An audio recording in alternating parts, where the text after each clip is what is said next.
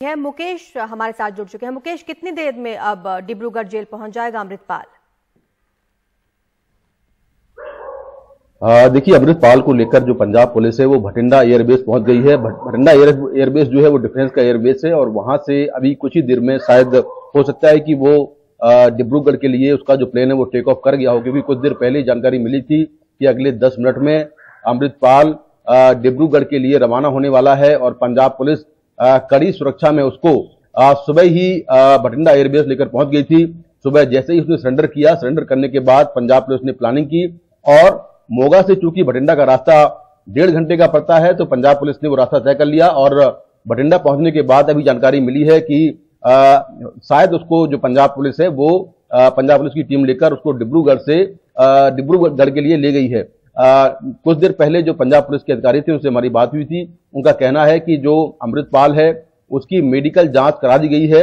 आम ये नियम होता है कि जब भी कोई अरेस्ट होता है तो सबसे पहले उसका उसकी मेडिकल जाँच होती है और मेडिकल जाँच के बाद फिर आ, उसको आ, जो पुलिस है वो कोर्ट में पेश करती है और कोर्ट में पेश करने के बाद कोर्ट अगर रिमांड देती है तो रिमांड पर आता है और अगर उसको जेल भेजती है तो जेल जाता है।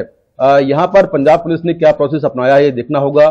क्या किसी जज को बाया वीडियो कॉन्फ्रेंस के ज़रिए अमृतपाल को पेश किया गया है या फिर डिब्रूगढ़ से उसको कोर्ट में पेश किया जाएगा, ये देखने वाली बात होगी। लेकिन फ़िलहाल जो पंजाब पुलिस की टीम है, वो सूत्रों के मुताबिक भटिंडा एयरबेस से डिब्रूगढ़ के लिए रवाना हो चुकी है और चूँकि पंजाब में उसको रखना एक परेशानी थी इसलिए कि पंजाब में, पंजाब की जेल में रखने से वहाँ पर कानून व्यवस्था की समस्या पैदा हो सकती थी। इसीलिए पंजाब पुलिस ने उसको जो बाकी साथी थे वो भी पहले डिब्रूगढ़ जेल भेजे हैं और अब अमृतपाल को भी डिब्रूगढ़ जेल भेजा गया है। वहाँ पर पहुँचने के बाद अब देखना हुआ कि पंजाब पुलिस क्या डिब्रूगढ़ की जेल से उसको वीडियो कॉन्फ्रेंस के ज़रिए क्या कोर्ट में पेश करेगी और कोर्ट में पेश करने के बाद क्या कुछ दलील दी जाती है इसके बाद आगे का प्रोसेस क्या होगा, वो देखने वाली बात होगी। लेकिन आज सुबह पंजाब पुलिस का काफिला जो है अमृतपाल को लेकर बठिंडा एयरबेस पहुँचा और वहाँ से फ़िलहाल वो डिब्रूगढ़ के लिए रवाना हो गया है, ऐसी जानकारी मिल रही है।